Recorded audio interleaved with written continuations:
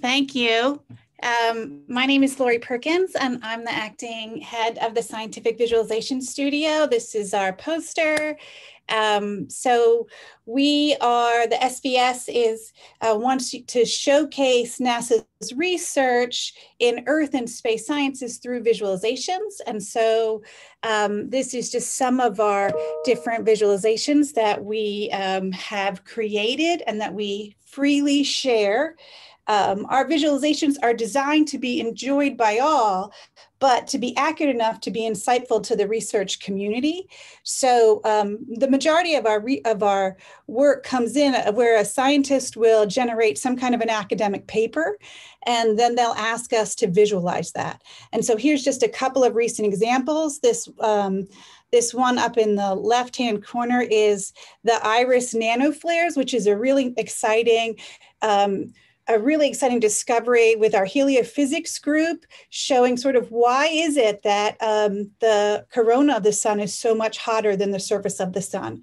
We've also done a ton of work um, with um, nitrogen dioxide um, observations before COVID and after COVID, where you can see, you know, people's impact on our planet is um, dramatic. And, and we not only our satellites were not only up and able to um, measure it, but we've been able to see and record the um, impact that people's actions have on um, the air quality of our own planet. Um, we also have done a whole ton of work on Bennu. So this next one right up here is our um, asteroid Bennu. Um, then following one is um, the SOFIA experiment uh, or the SOFIA data that just came out showing water on the moon. Um, we have a Hurricane Zeta. Um, we have another one showing visualization using high performance computing and new machine learning techniques. So this one's going to be in the movie section, um, but I'm really proud of it because we only had about um, a week and a half to pull this together where uh, the scientists had a real small region of Africa that they were looking at. And it's an area that only gets um, a total of 600 millimeters of rain all year long. And they found in that region, that very small region of Africa, 1.8 billion um, trees were in that region. And we used a machine learning technique to count those trees. And this is our visualization to show you that. So um, I'm not showing it here, but it is in movie night. Uh, we also did a whole ton of work for Earth Day, which is in movie night. Um, the Mars work here, uh, this was actually on the um, cover of the Nature Astronomy. This was the cover of the Nature Astronomy in October.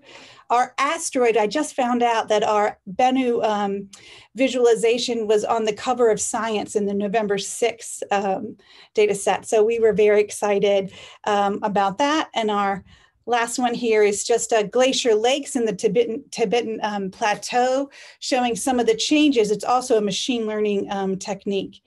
So from here, I just thought I would show you some other visualizations. We have over 10,000 different NASA assets that you are welcome to use in your um, in any of your products. Um, so I'm just going to sort of give you a little tour of how to see where they are. So here's an example of our website. If you haven't checked it out, it's svs.gsfc.nasa.gov. This is our visualization showing uh, where the water is on our planet. This is um, red is heavy amounts of rainfall, yellow is lesser rainfall, blues and purples are snow and ice. And I wanted you to see right here where it says 4285, that's our um, that's our, our database entry. So if you know that number, it's real easy to figure out where our stuff is. Um, and so I'll show you what this visualization is so this is the last seven days of rainfall. So we keep this up. So if you're interested in knowing like to me when i go to schools in particular i want to show them what can we see from space. And rainfall you know this is very current stuff. So this right here is hurricane Eta. Hurricane um, theta was just um, was just um, confirmed um, about a couple hours ago um, here is our nitrogen dioxide changes um, that we uh, released in um, April.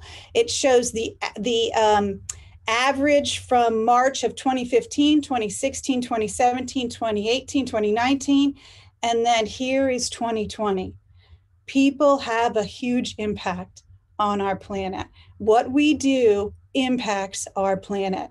And, and NASA is in a position where we can record that impact. I think that's a real important thing to tell students. And really, everybody should know that.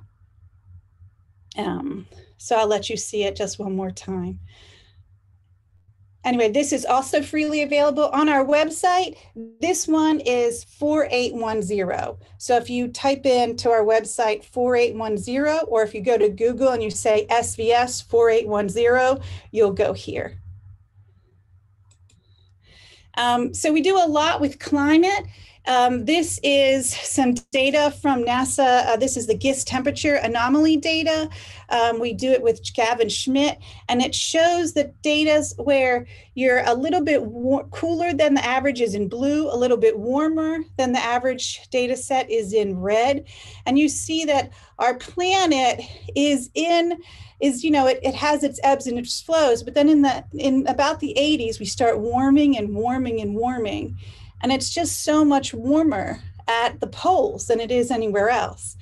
And so I like to, when I show this to students, just let them see. I'm not jamming a climate um, agenda down their throat, but I think people, when they see the data, they can make their own assumptions and, and understand what's going on. So you see here, this is the data, and um, you see we are eight times warmer at the pole than we are anywhere else.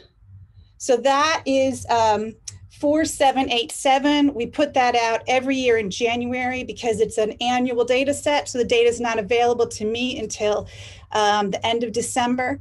And so we do a NASA NOAA combined press release in the beginning of January. It's normally like the 15th of January. So the new 2020 data will be um, coming out then.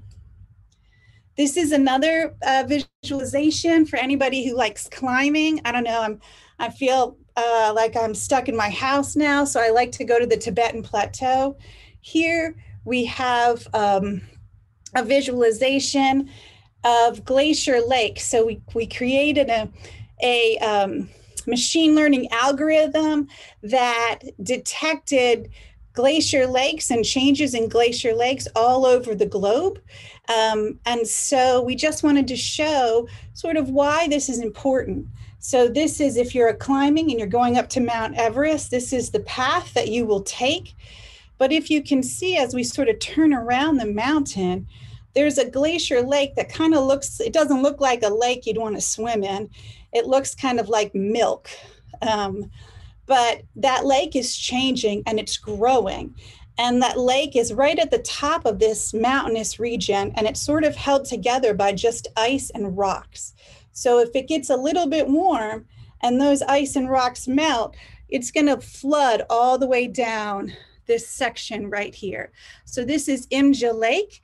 Um, our scientist um, had studied this and found um, hundreds of thousands of these lakes that are growing. So this is what it looked like in 2019. And yet this is what it looked like in 1989. And so we're just showing that data as it's changed. Um, so not only are the visuals available, but if you're interested in how we use the data, this is Landsat data that we're pulling together. The code for how you use this is also freely available. Anyway, so that's Imja Lake on the Tibetan plateau. One minute warning, Lori. Okay. We also um, every year we do a um, a moon visualization. So this isn't on our website yet, but it will be next week. Um, and so uh, the Imja Lake was 4834. The phases of the moon uh, next week will be available. It's 4875.